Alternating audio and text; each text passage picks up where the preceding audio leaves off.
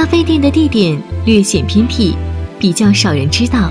不过，还是有许多人会为了他们家的咖啡专程前往，绕过小路小巷后，再爬点小坡就能到达。